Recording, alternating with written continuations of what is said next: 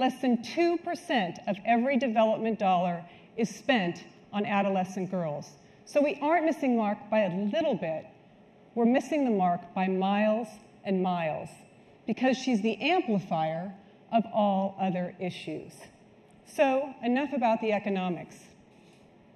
You all might have heard about a girl who's eight years old in Yemen who was more married to a 40 year old man. She died on her wedding night from injuries due to sexual trauma. You might have heard about Malala, who was shot in the face as she tried to go to school. Or you may have heard of the rapes in India. All these things are horrendous, and they have something in common. At that moment, the human potential of those individuals is completely wiped out. They have another thing in common they're not very uncommon. There are 142 million girls who will become child brides over the next 10 years. That's 38,000 girls a year who will become a child bride over the next 10 years.